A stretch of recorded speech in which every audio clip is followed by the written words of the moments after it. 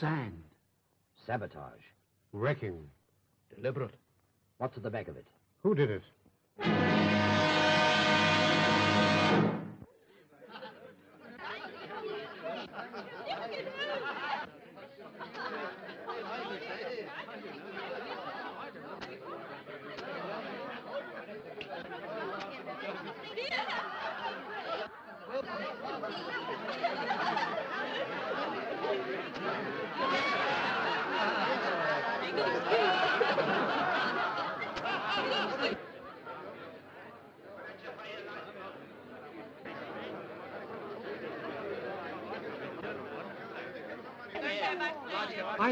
Know law stands.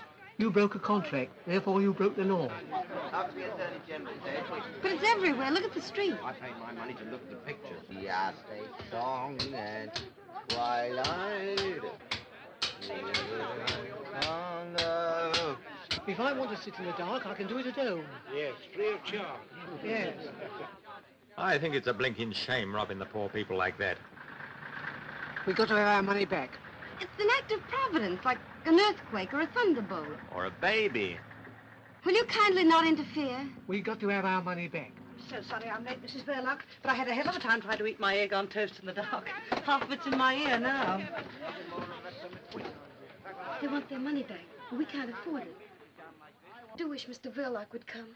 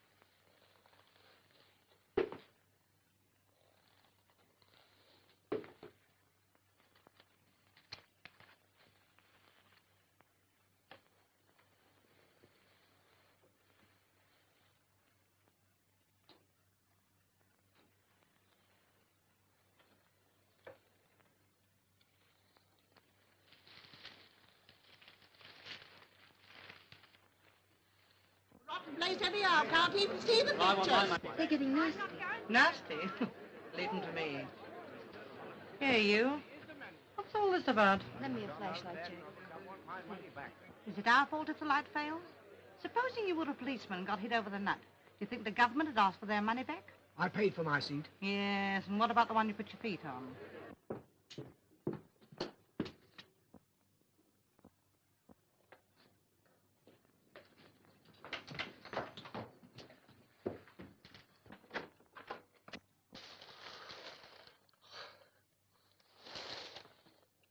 Karl, when did you get home? I haven't been out. You weren't in 20 minutes ago. I came and called up the stairs. I was asleep. Why are you shining the torch on me? Can't you switch on the light or something? We can't. It's failed. What? The fuse gone then? No, it's everywhere in the streets and the trams. And the audience downstairs wants their money back. They're making a terrible row about it. Well, I'll give it back. We can't possibly afford it. Oh, yes, we can. You must be crazy. It'll clear us right out. You're always saying we don't cover expenses. That's all right. Doesn't pay to antagonize the public. I've got some money coming in. Go on. Well, it's for you to say. But If we're going to be generous, let's do it properly. Come on downstairs and make a speech about it. No, no. They're used to you. You do it. All right. I still think you're crazy. It's an act of God, I tell you. And what do you call an act of God? I call your face one, and you won't get your money back on that. now, if a plane were to come along and drop a bomb on you, that would be an unfriendly act within the meaning of the act. But if the juice dries up of its own accord, that's an act of providence, as laid down in the Act of William the Fourth, where an act is defined as any activity actuated by actual action. No wonder the blinking lights went out. It's a moot point. I'll moot point 'em.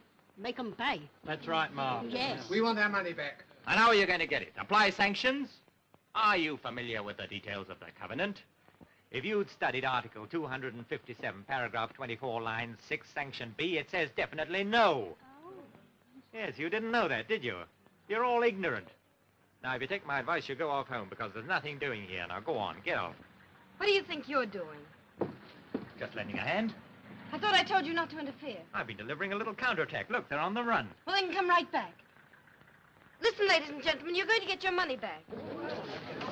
Don't give in now. I'll stand by you. I prefer you to go and stand by your Apple store.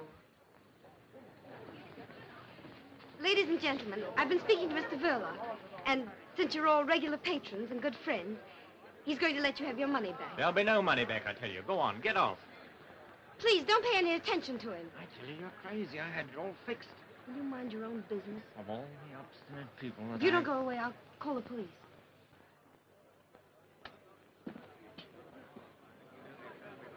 Rene, start refunding the patrons their money. Come over here, Pat. Come over here,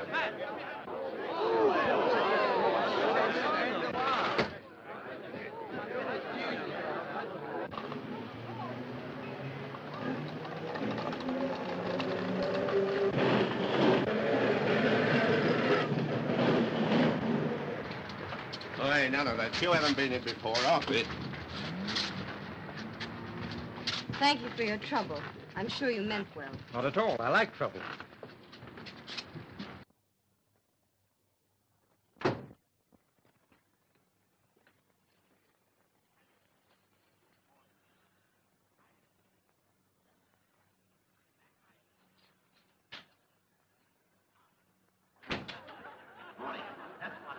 Absolutely morning.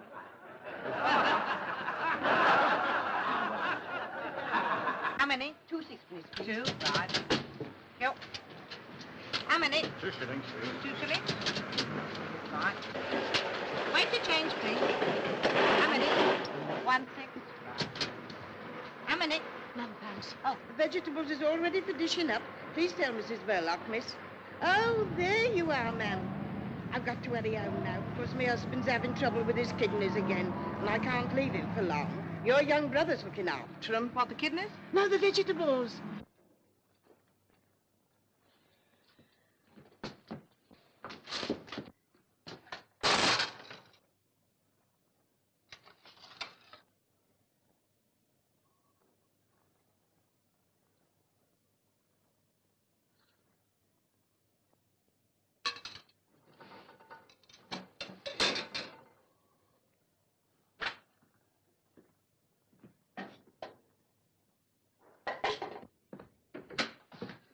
Oh, Stevie, have you done all this by yourself?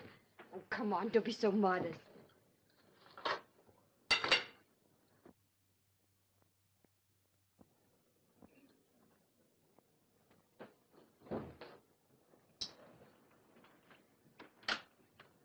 Well, we didn't have to pay them back their money after all. Oh, sorry, sorry.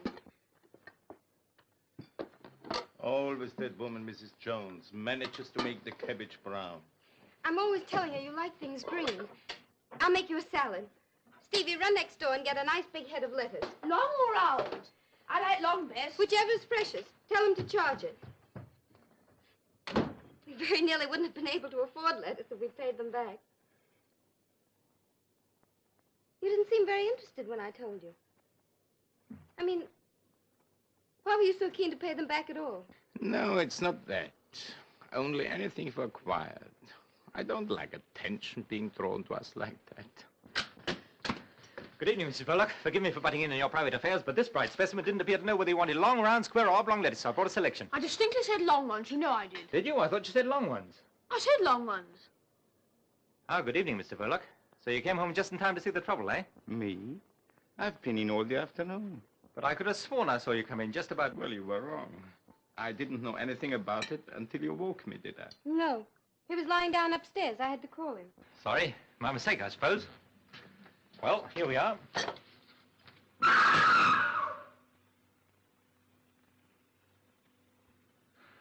I thought someone was committing a murder. Someone probably is. On the screen there. Stevie, hop on a chair and fix that fan light. Look out, George Arliss doesn't bite you, Steve. Well, good night, all. All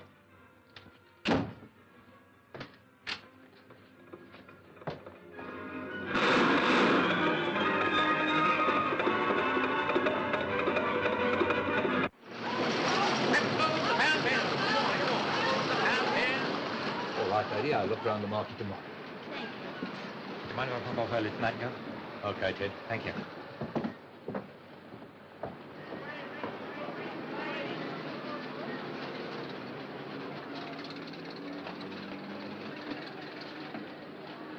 Good night, boys. That fellow seems to get off whenever he likes.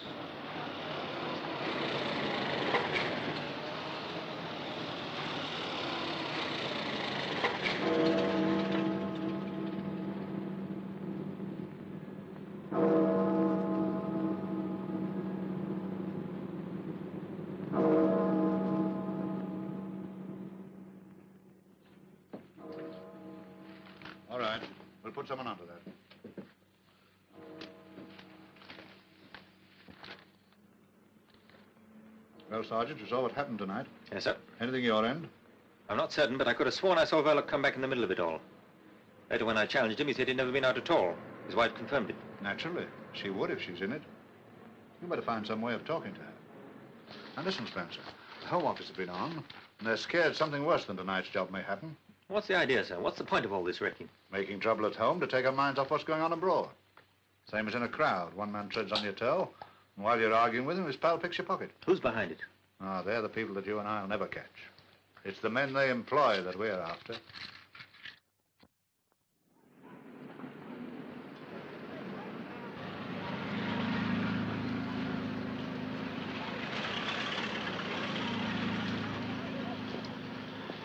Don't you know that's very dangerous?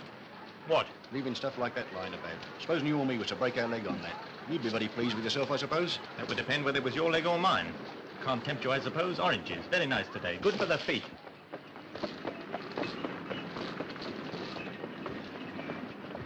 Hello, Gov. Going to pictures? As a matter of fact, I'm off to a trade show. Well, pick us a good one then. You know, plenty of murders. this love stuff makes me sick. Hmm. The women like it, though.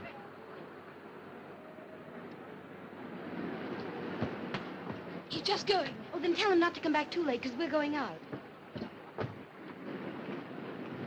tell him to not come back too late, 'cause we're both going out. I'll be back as soon as I can.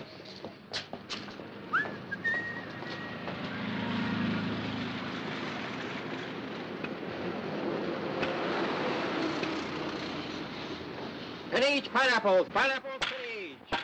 Spinach, pineapples, pineapples, spinach. Spinach, pineapples, pineapples, spinach.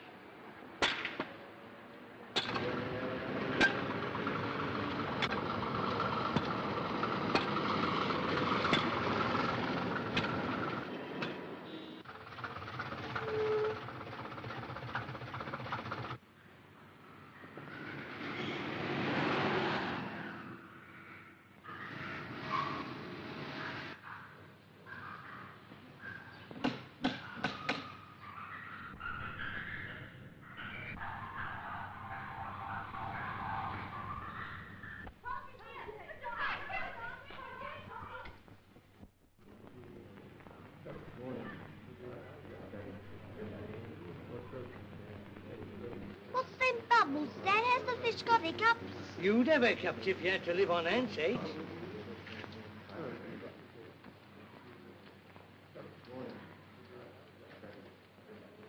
Well, I funny-looking things. Yes, they're funny-looking things.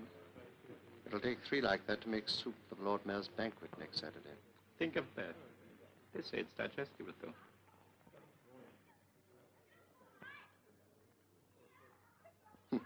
Does the thing with the moustache. I hope you're satisfied with last night's show. It wasn't as easy as it looked. I had to spend money, too. No doubt. A neat job, though. The sort of thing to make people sit up. I think you'll agree I've earned my money. I hope you didn't mind me asking for it in pound notes. You made London laugh. When one sets out to put the fear of death into people, it's not helpful to make them laugh. We're not comedians. It's not my fault if they're such fools. Londoners are not fools. They laugh because they realize what happened last night was laughable. They did right to laugh this time. What do you mean? Mr. Verloc, you will be paid your money when you've earned it. I don't follow. My dear Verloc, I once read a sign in Piccadilly Circus calling it the center of the world. I think you'd better pay a visit there in a couple of days' time. Leave a small parcel in the cloakroom of the underground station. What sort of a parcel? Oh, I don't know. Let's say a parcel of fireworks. I couldn't do it. I'm not going to be connected with anything that means loss of life. You'll have to get somebody else. I won't touch it. Very well, then, Mr. Verloc. If you think you're so well off that... You know I'm not. You know my position. All right, then. You'll be paid your money when... In any case, if you're so fussy about doing it yourself, surely you have some kind friends who would help you. Now, don't be so silly. Go and see this man. He's a very nice old gentleman. and He makes lovely fireworks. I'll try and see him. And don't forget the date. Saturday next. Lord Mayor's show day. Lots of people. You want me to come and report? Thanks, no.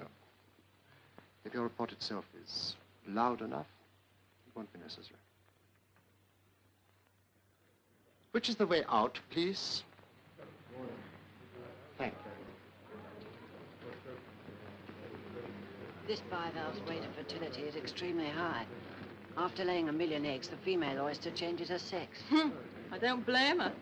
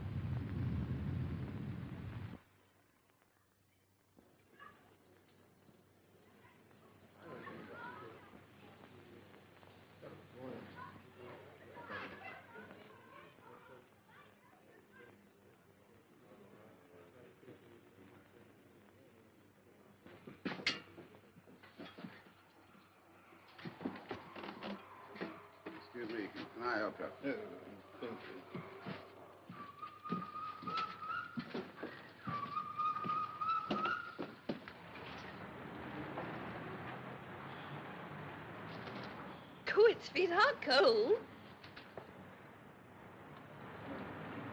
Isn't it fat? You'd be fat, too, if you were fed corn and bits of bread all day long.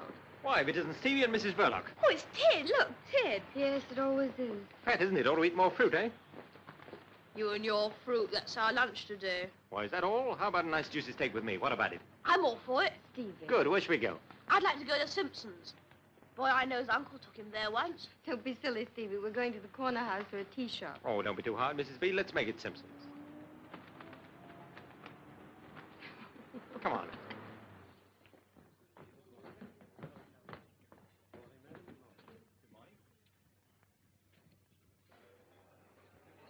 Have you ever been here before? No, never.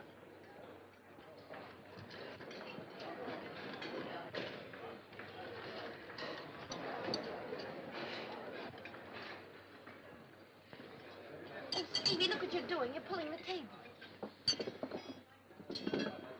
I saw a picture once where a chap snatched the tablecloth off the table and left everything standing on it. You want to try that at home one day? He did. All this is very expensive, isn't it? Yes, it looks like it, doesn't it? I've got a pound note if you want it. It's all right. Now, Steve, setting aside the steak for a moment, we have here before us oysters, caviar, smoked salmon, fried, grilled, or boiled sole. I'll have a- Roast saddle of mutton, Kentish chicken pudding, boiled silver side, roast sirloin, chopped steaks, grilled kidneys, or roast duck. I think Stevie'd like a nice poached egg on toast. Now have a mixed salad. Here, drink this. Poached egg here at Simpson's. Why, that's enough to make the roast beef turn in its gravy. Oh. Three bullocks roasted whole and a cup of coffee. Sirloin at number eight. When did you come over from America? About a year ago. Business wasn't too good over there. That's funny. People used to go to the States because business wasn't too good over here. How are things working out now? Not too good, huh? Not terribly. Thought I hadn't noticed you turning people away.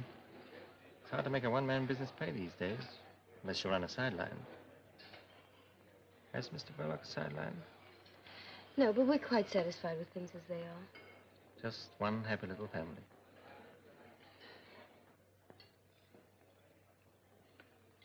Just one happy little family.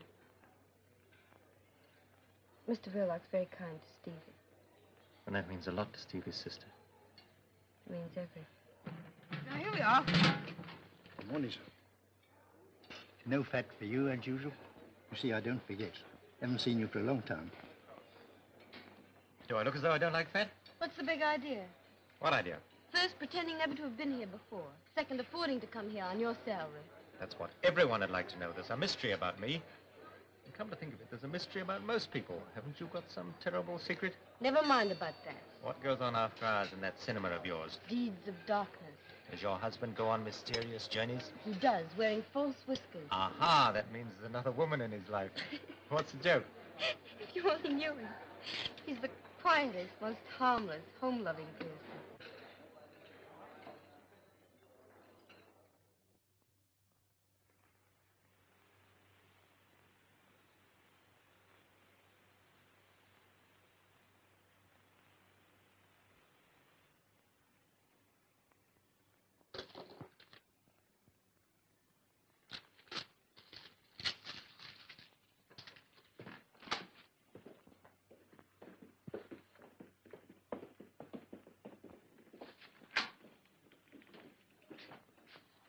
Well, what luck with Mrs. Verloc?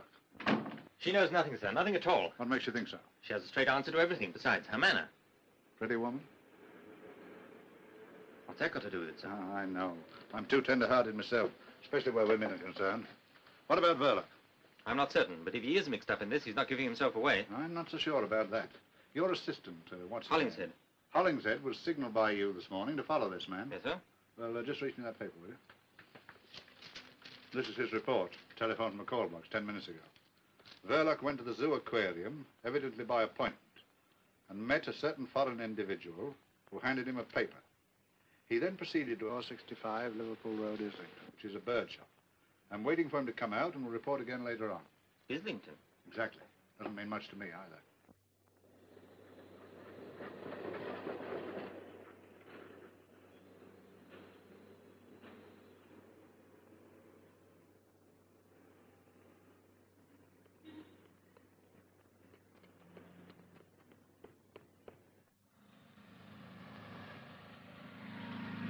I can't understand, madam. One of my best songbirds. It sang all day before you purchased it. Perhaps in a few days it will settle down. Nothing won't make it settle down. I've tried always. Whistling to it, clapping my hands, frying bacon, no use. It just sits there and makes me look silly. Not the bird's fault, I assure you, madam. Isn't it?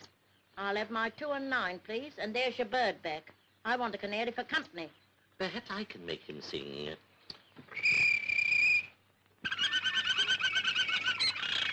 There now. You sure it was him? Listen again. See his beak open. Of course you did. There's a good boy. Now, don't forget, plenty of watercress, and you must whistle to him. Me whistle? Perhaps you'd like me to sit in the cage and him do the housework. Uh,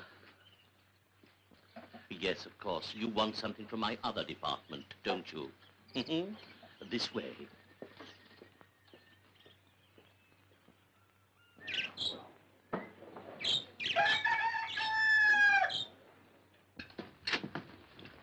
My daughter.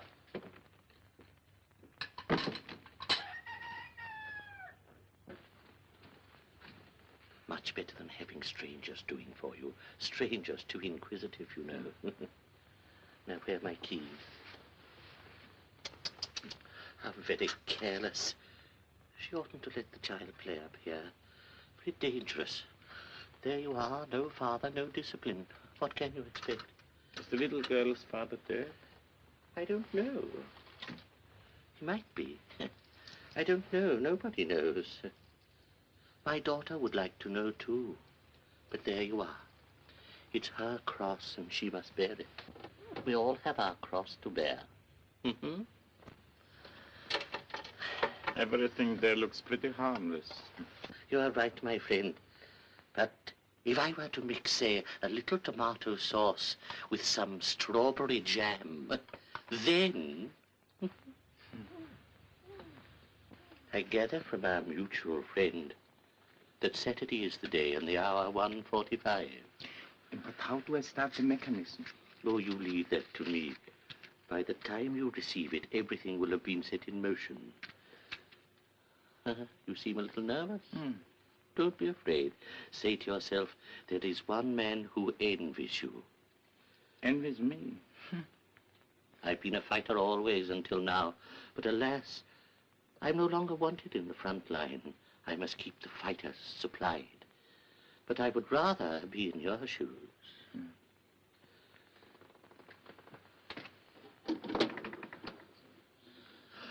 My dear, uh, just look here. Yes, yes, perhaps you're right. I must have put it there myself. there, there. No harm done. Well, I think everything is quite clear. Slap me hard. Granddad's been very naughty.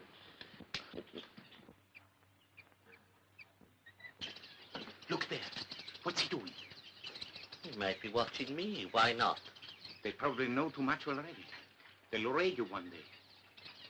I shall give them a nice, warm welcome if they do. He didn't see me. On Saturday, without fail, sir, uh, two canaries in a nice cage with a very deep tray. Don't forget, Saturday at 1.45. Good day, sir. Good day. That child again. And now, sir. I want a nice singing canary. A canary, you said, and my dear little birds at once answered themselves. Of course I realized he wasn't really a greengrocer's assistant at all. I mean, a greengrocer's assistant can hardly afford to lunch at Simpson's, can he? He's really quite well off, and he's there to learn the business. It's one of a big chain, that shop. If you ask me, I believe he's the son of the man who owns them. How would you like a job selling fruit, Stevie? I wouldn't mind with Ted. He makes it all sound fun. Wouldn't it be grand to have steak whenever you like? Crumbs, I'd have it three times a day. You'd soon get sick of it. Bet I wouldn't. I don't see how you could get sick of things to eat. Except poached eggs. What's the matter with poached eggs? I think they're the worst things in the world. I bet Ted doesn't eat them. I'm sure he does. I bet he doesn't. They're beneath his dignity. I don't think Ted's so terribly dignified. And he's too dignified to eat eggs. Hey, I see you're bunching it up. Oh, now it's all right, Stevie. Do you think Ted will come with us and sail it? He might if you ask him. He's more likely to if you ask him. Sailing boats is fun. I like it. But Ted knows about all sorts of things. Gangsters and burglars and everything. How does he know? He reads about them. He says gangsters are not nearly so frightening as you'd think. Some of them are quite ordinary looking, like you and me and Mr. Verloc. Perhaps he's right. After all, if gangsters looked like gangsters, the police would soon get after them, wouldn't they, I mean?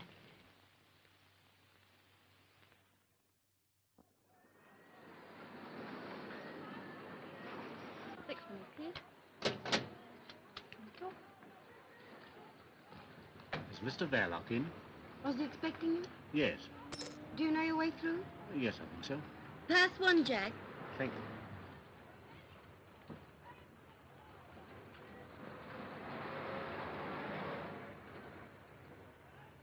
I have an appointment with Mr. Verloc. Do you know your way through? No. You go right through the theater. Pass one, Jack. Thank you.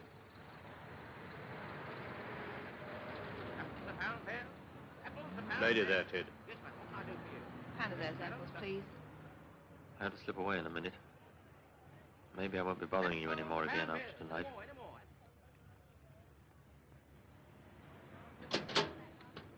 Thank you.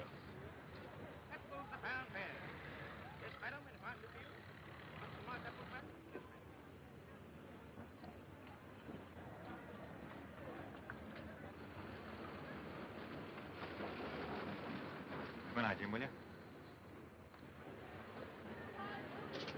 One balcony, please. Pass one, Jack.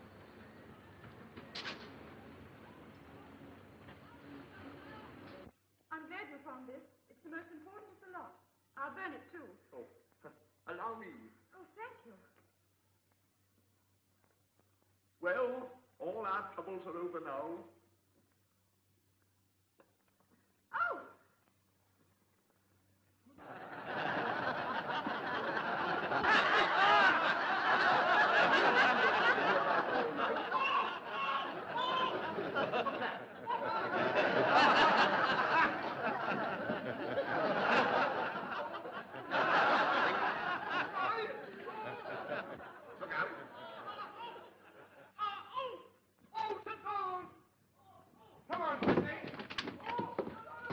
Ted, where are you going? Just going to have a word with Mr. Verloc. Well, he doesn't talk through loudspeakers. Is that what's in there? Mm, oh, it's only the screen, not much to look at.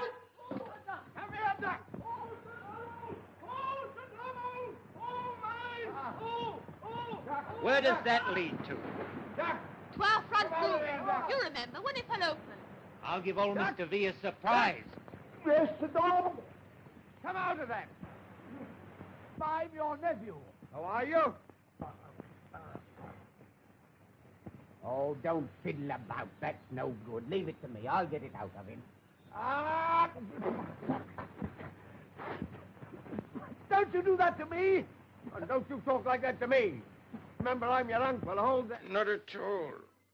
I'm only too glad to pay what the job's worth. Well, I don't see anything against it. I'll call in tomorrow about 11 o'clock. And afterward, I'll settle with you when you've done the job. of course, if the Arsenal lose to Birmingham on Saturday, I shan't be so pleased. Arsenal? I don't follow. Uh, no, no, I know you don't follow Arsenal, but they're a good bet, believe me. Don't forget, I filled in about 10 coupons. Stands me in at about 15 bob. So I'd better... Why, I know him. What were you doing up there? Who is he? Well, he's from the filter next door. I know him all right, but... What happened? I was showing Ted the back of the screen with the loudspeakers. Wasn't that all right? I hope I didn't hurt you. You never know, you know. Well, Mr. Verloc, no harm done, I hope. I must be getting back to the shade of the old apple tree. Sorry. Good night, all. Good night. That is Detective Sergeant Spencer of Scotland Yard. But who's he after? You're having us on. But what are we going to do about it? But he's connected with the fruit store next door, I tell you. Spencer got me my last stretch, the one I'm unlicensed from now. What are we going to do about it? One thing. This job is off, out, finished. We go quick from here and scatter. And keep scattered. And if he comes here again, tell him we don't know where we live. Say we've gone abroad. Anything you like.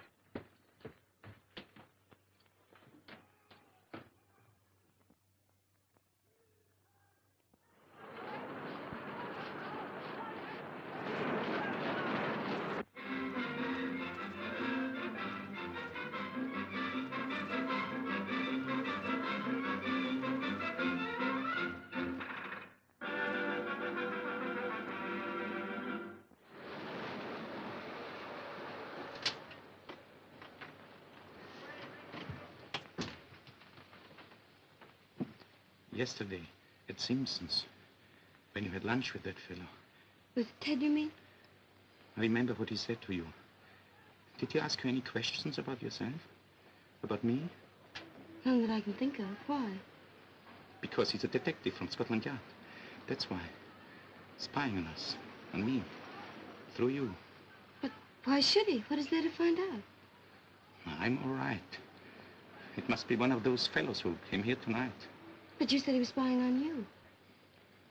No, not on me. This place, I meant. But if he has anything against anybody, why didn't he come straight to you? You'd help him. I'll talk to Mr. Detective Ted. No, no, uh, I'll speak to him myself.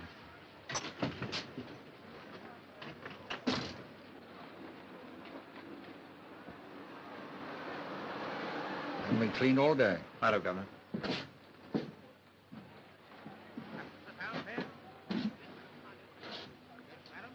Where's Ted?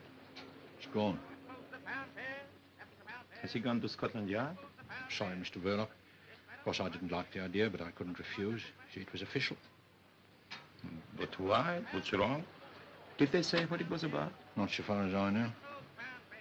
You must have been showing some funny sort of films, I dare say. You know, perhaps a bit too hot.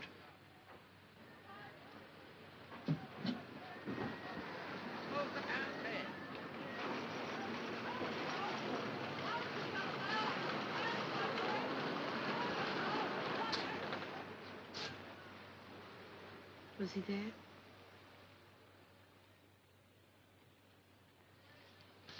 Post.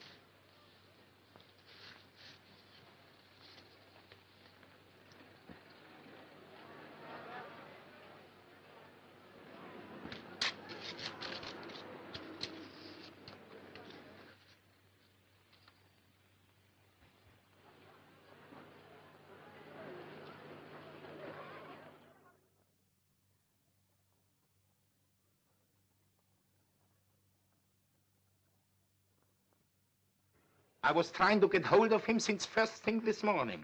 Wasn't there anybody there to answer? No. Well, it's too late to stop him now. He's gone out with an order. All right. All right. An old man just left this. I thought he must have made a mistake. No, no, tha- that's all right. It's only a pair of birds for Stevie. I was just phoning about it. You're terribly good to him. Not to you? If you're good to him, you're good to me. You know that. Yes, I know. What made you think of it? Oh, someone made the suggestion. Uh, go and call him, will you?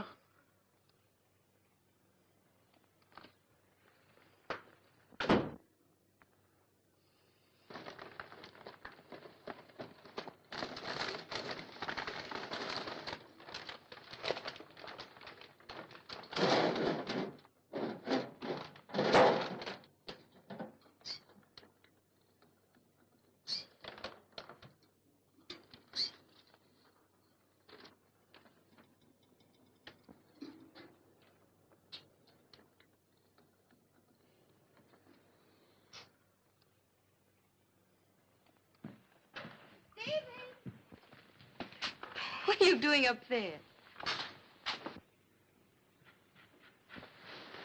There's a surprise for you inside. What is it? Go and see.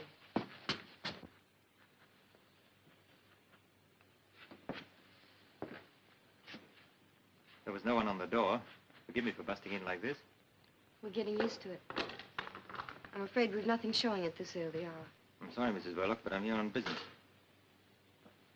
Same business as last night, Mrs. Verloc, there's nothing personal in all this. isn't there? You had us fooled, all right. Trying to make Stevie and me think you were a friend. Do you think I enjoyed it?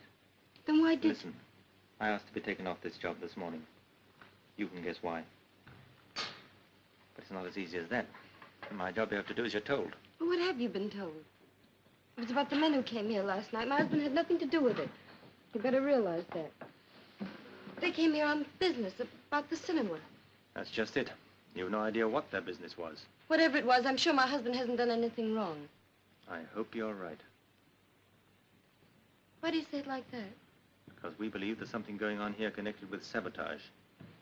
Sabotage. That blackout the other night, you remember?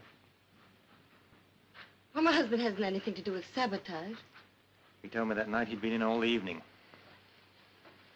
That wasn't true. I saw him come back with my own eyes. I don't believe it. You're making things very difficult for me. I'm afraid I've got to ask you a lot of questions. Now, about those men. I've told you before, he's the most harmless person in the whole world. He wouldn't do anything to... Did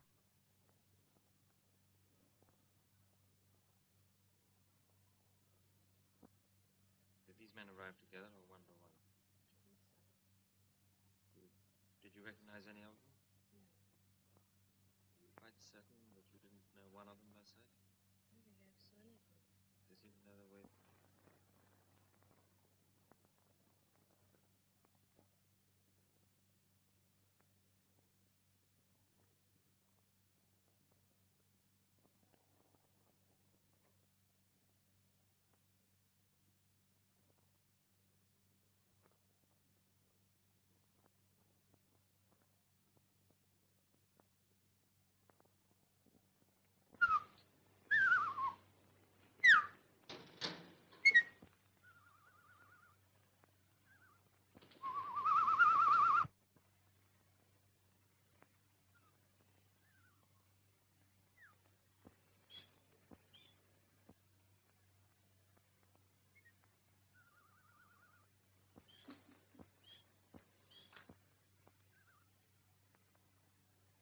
Stevie!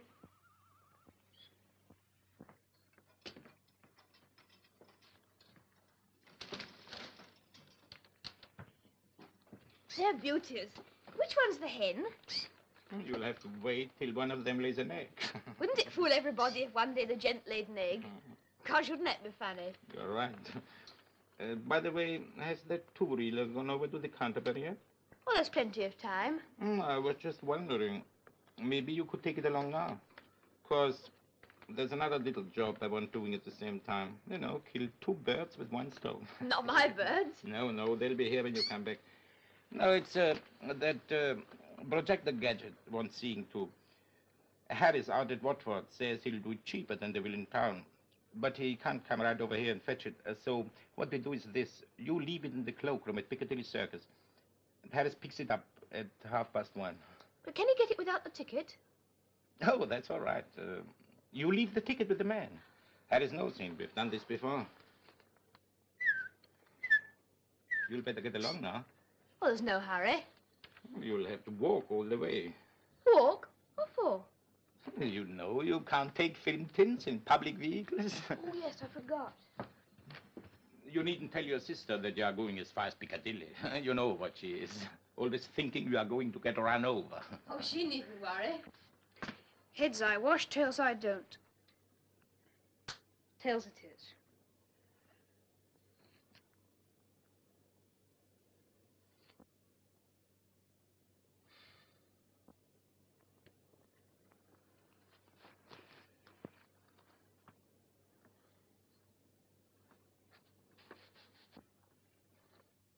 For God's sake, why don't you go? I mean, uh, hurry up. You might be late. Don't forget it's got to be there by 1.30 at the latest.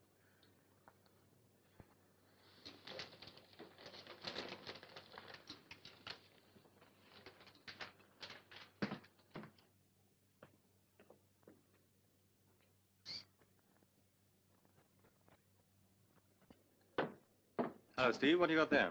I'm taking a two-reeler over to the Canterbury. Hmm, Bartholomew the Strangler. That sounds a juicy one. Have you seen it? Fourteen times. Must be quite a wrench parting from it. Well, so long, Bartholomew. So long. Careful of the crossing. I can look after myself, can't I? Oh, Steve. Is Mr. Verloc in? Yes, I just left him.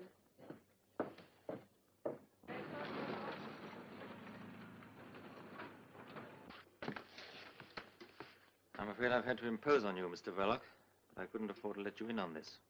Now I can put my cards on the table. I come here to ask for your help, nothing more. I see. About those men who were here the other night, uh, when I dropped in myself. I've been instructed to get a little information about them.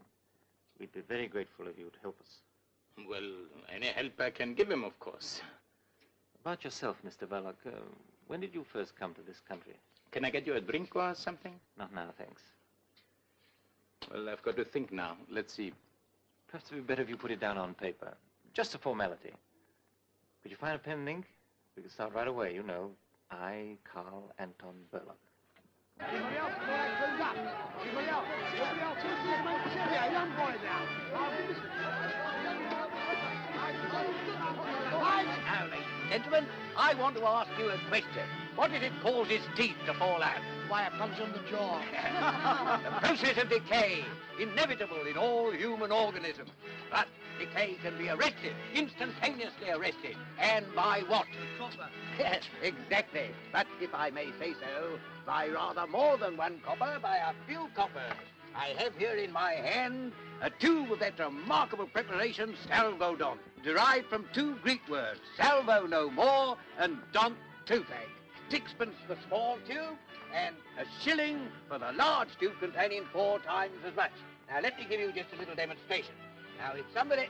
Ah, I see you're a young gentleman who I'm sure will be happy to assist me. No, I wouldn't. Yes, you would. Come on, bung him up. All right, now, in the chair, sir, if you don't mind. But Now, I- allow me to relieve you of the toffee, eh? It isn't toffee, and I Oh, all right, all right, all right. Stay where you are. Don't get excited. Now then, here we are. The first thing to do is to take the tube in the left hand and remove the cap, like so. Then we pick up the toothbrush and we squeeze some of the Salvodon along the bristles, like so. Then uh, I want you to observe, ladies and gentlemen, that the young gentleman's teeth are very dirty. Then uh, not. Yes, they are. Now, come along, open your mouth. That's a good boy. Now, we now proceed to use the brush. Now, with the ordinary commercial dentifrices, what happens? It is either too gritty and takes all the enamel off, or it ain't and it don't take nothing off. but with Salvodon, that's the happy medium. Neither too strong nor too weak. It performs the functions that nature forgot. It cleanses the teeth, refreshes the mouth, and removes all traces of halitosis. Ali, what? Bad breath to you, sir. Same to you. Thank you. I don't need it. Come on. Here are now. Relax, honey. Don't be afraid. There you are. Better now. Now, ladies and gentlemen, you will observe that I have unfortunately disarranged the young gentleman's hair. But that is easily attended to. Now, I have here a bottle of Loswell, a shilling for that size, but I have large size, four times the size, which is only 18 pence. I will now give you a demonstration of how it's used. You put it on the air like that, you see? it's a remarkable stuff. It is guaranteed to give the appearance of patent leather to the human flesh. You are now groomed for stardom, as they say. Go on, buzz off your little basket. Go on. There you are, ladies and gentlemen. Anyone, any other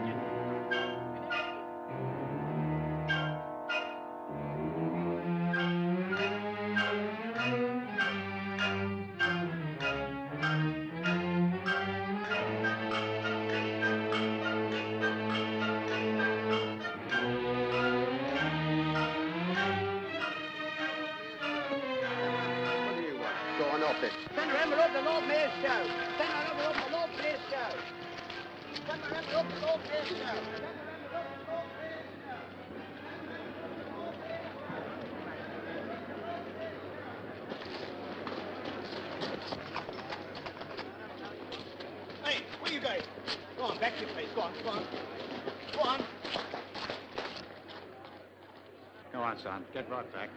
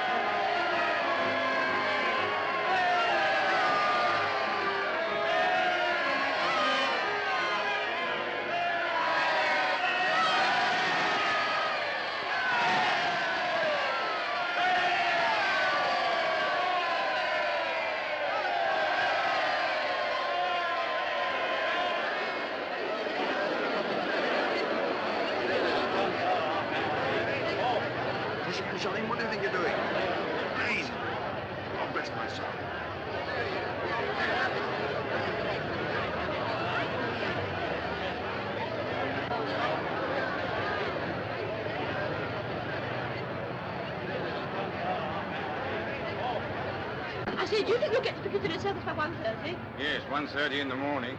You got to meet a young lady there? Here, you can't bring those there in a public vehicle. They're films, ain't they? Yes. Then they're flammable. Go on, off, off, big boy. But I've got to get to Piccadilly. Can't I leave my out here on the platform or somewhere? Oh, it's Bartholomew the Strangler. Oh, well, is it you, Bartholomew, old fellow? You can stay. As long as you promise not to sit about me or any of the passengers. Thank you.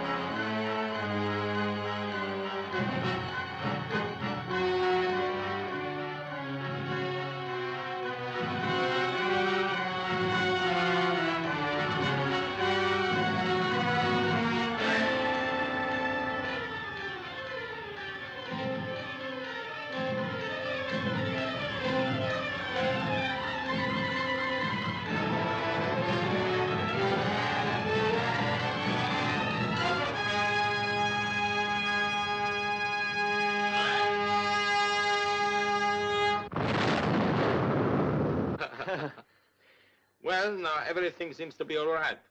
Will you have your drink after all? No, thanks.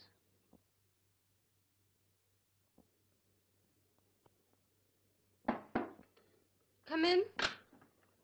Oh, excuse me. Uh, will you ring up Whitehall 1212? May I use your phone?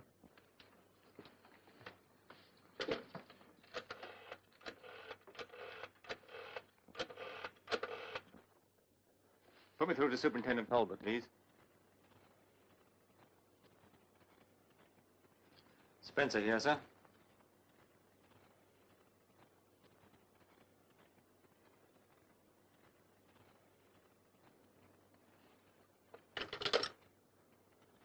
A whole busload of people have been blown up in the West End.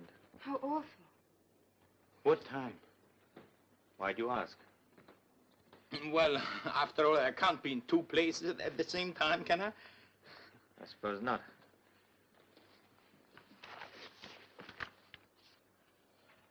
I may be back later on.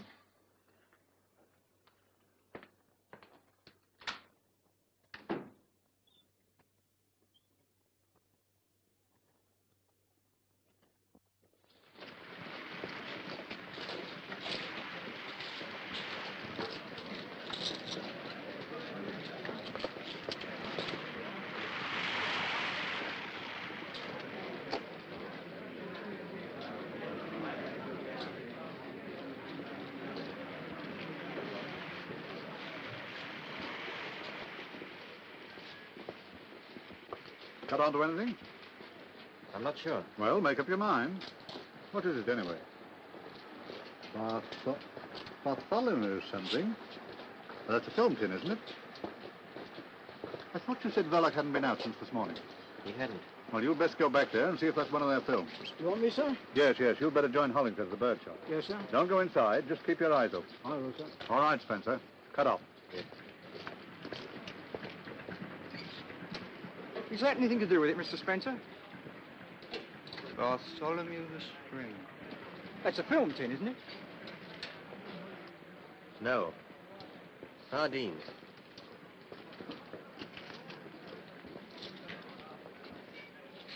The new big bomb sensation. Alex, the new big bomb sensation. He's all right. He can take care of himself. You've got nothing to worry about. Give me a peanut. Alex, the big bomb sensation. Alex, the slide X, the big bomb sensation. Alex, the slide X, the big bomb sensation. Big bomb sensation. Alex,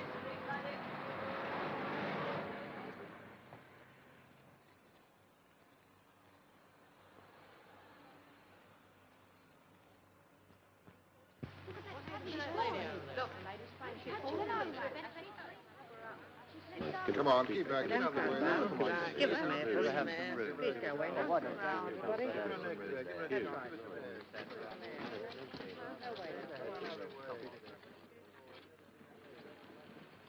I want Mr. Verloc. I want to see Mr. Verloc. I didn't mean any harm to come to the boy. Come on. You've got to think of tomorrow. You'll need all your wits about you if they get on to me. You might answer a fellow. Do be reasonable. What would it have been if you had lost me?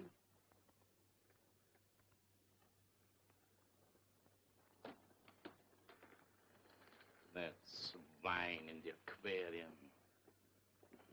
Silly, jeering, dangerous brute with no more sense than. You didn't know. Quite right, too. I'm not the chap to worry a woman that's fond of me. You have no business to know.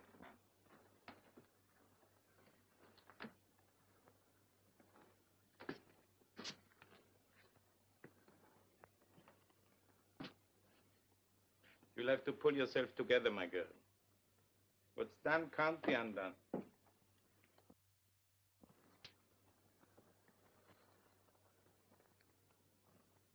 You go to bed now. What you want is a good cry. I know how you feel. Do you think it doesn't touch me? Do you think I fixed it so that he'd be killed? No. But I tell you who did. Your Scotland Yard friend from next door, Ted. Blame him. I'd have carried the thing myself, but he was hanging around watching, spying. I couldn't get away.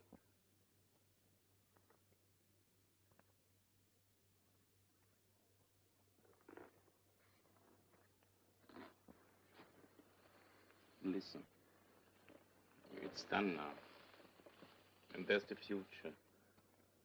Perhaps, I don't know, perhaps if we had a kid of our own.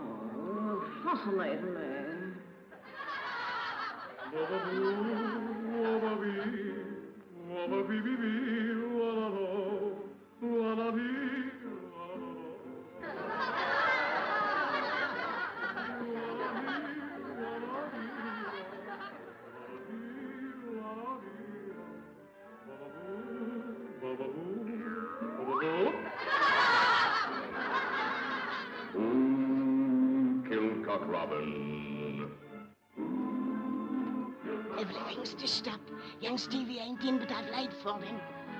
I'm getting along now.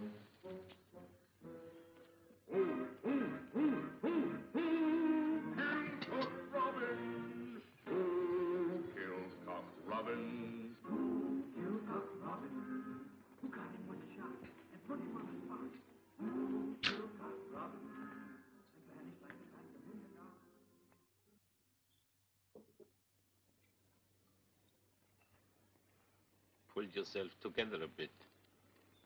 That's better.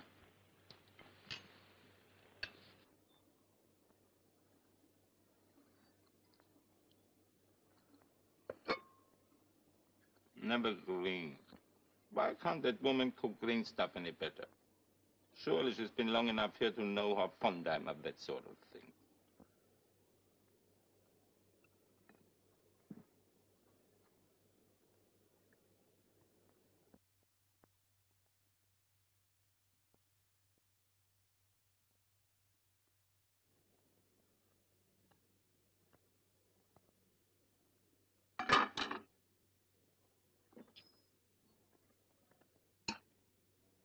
I don't think I want any cabbage. Couldn't we send next door for some?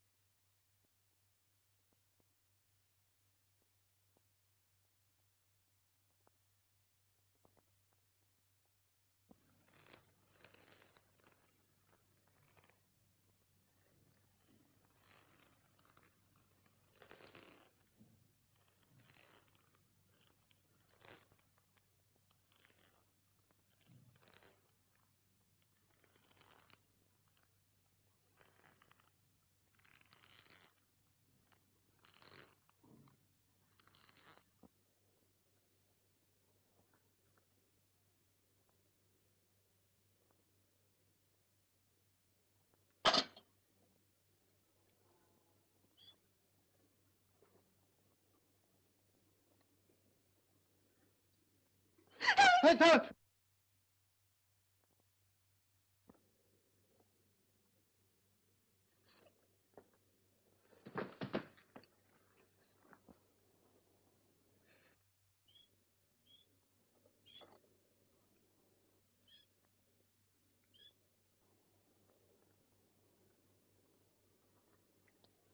Stevie.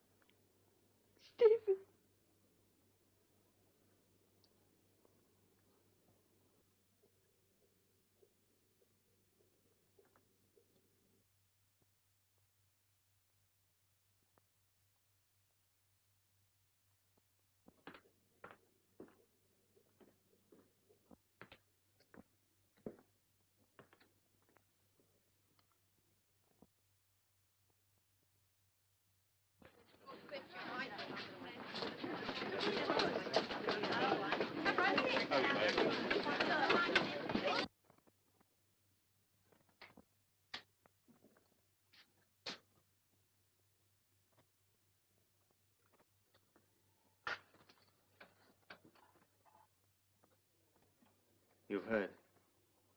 Yes. I'm terribly sorry. I don't know what to say.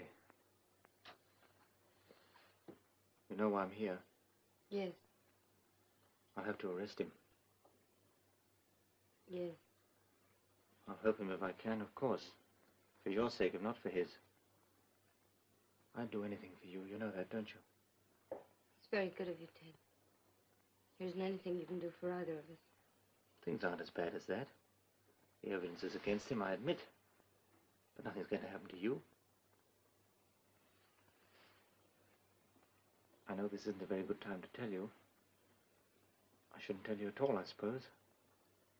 But before I take him along, I want you to know that what happens to you means a lot to me. I didn't want to tell you how I felt about you, but there it is.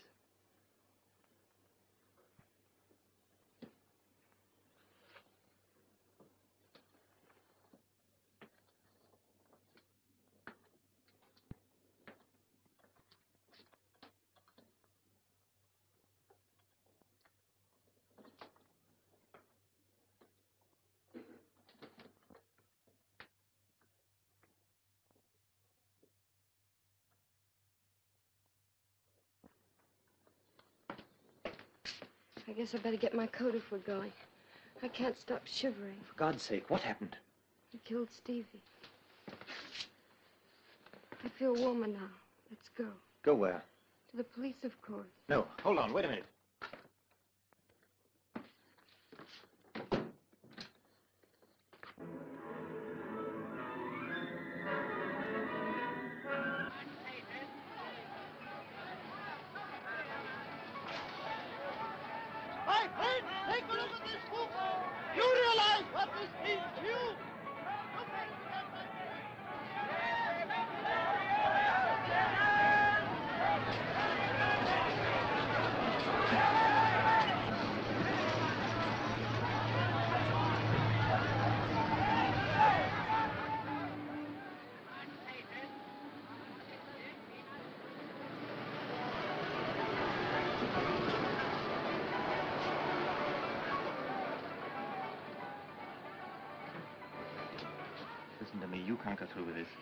Let me go. You're not guilty. I know it was an accident. Anyway, you only did the hangman's job for him. Please let me go. I know the facts, but no one else does. What chance would you stand with the judge and jury? I don't care anymore. You're telling me you've nothing more to live for, is that it? Look at me.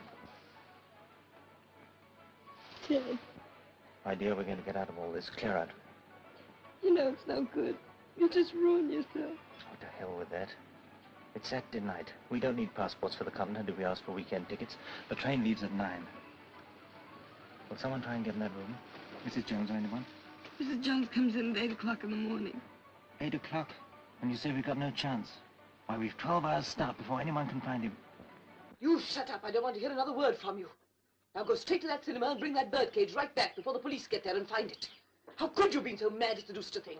A birdcage with a bomb in it. My dear, I couldn't help. Well, you can help now. Here's your hat and your coat. Uh, my dear, but what of the risk... Risk who to? You? What about me and the child? Haven't our lives been one long risk for months? Now go on, get into that taxi. And get that birdcage. Bijou Cinema, Penfolk Road.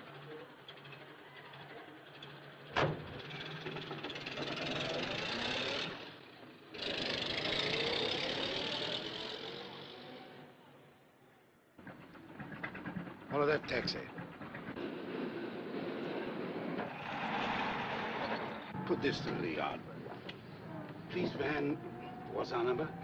UDC 4768. Reporting. Man under observation, just left bird shop, is making for the Bijou Cinema in a taxi which we are following. Any instructions?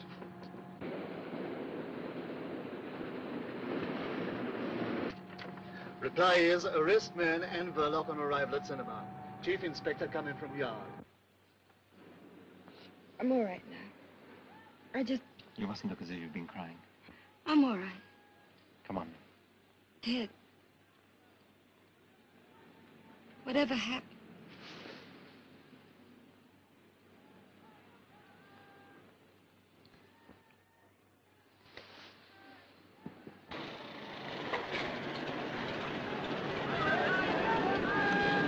You put it together, my friend.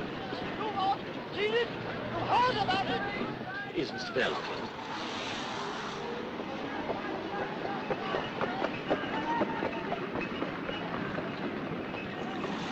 What is it? Please. Come on. Not that way.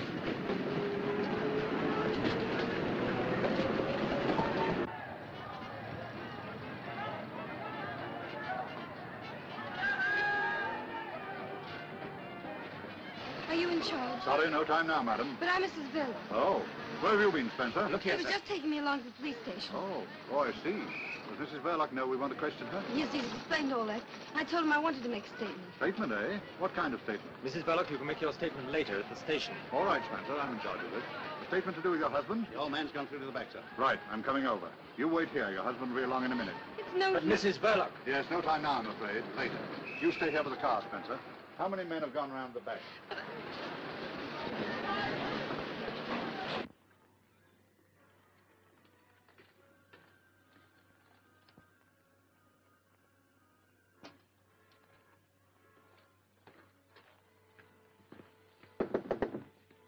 Mr. Verloc.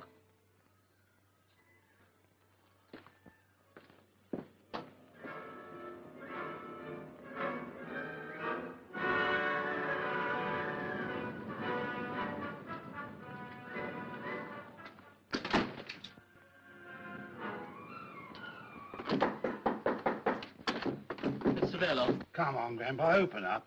It'll save a lot of trouble. He's got a bomb. Half a dick. Better clear the cinema. I'll look after the old man. No, thanks, I'm staying here. You've got a wife. All the more reason why I should stop. Go hmm. on, get the audience out.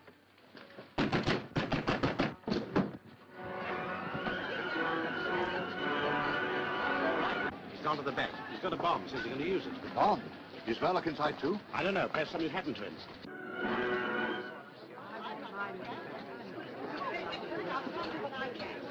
Ladies and gentlemen, I must ask you all to leave the Let me get alarmed about...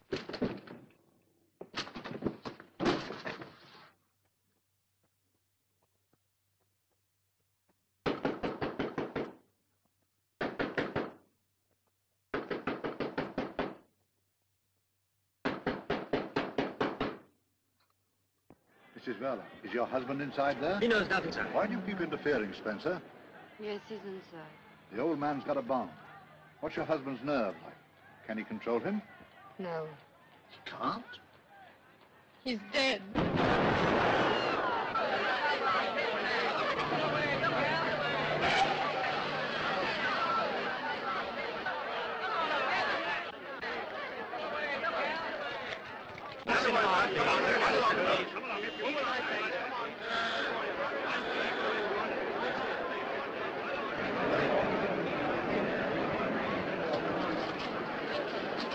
Gone. The whole of the back of the place clean blown out. Anybody? All the audience was there, thank goodness. And Verloc from the old boy. Ah, I saw some things in the wall, but enough left to identify? I wouldn't say so, sir. You better get a first aid man to attend to that head of Here, Spencer. You better look after Mrs. Verloc. Her husband's dead. Blown to glory. You can break it to her. There'll be a few inquiries later, but there's nothing against her so far as I can gather. Yes, sir.